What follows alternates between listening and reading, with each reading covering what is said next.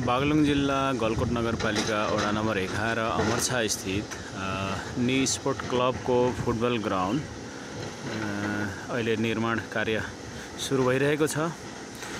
यस क्लबका अध्यक्ष श्री धनेश्वर सापकोटाज्यू लगायत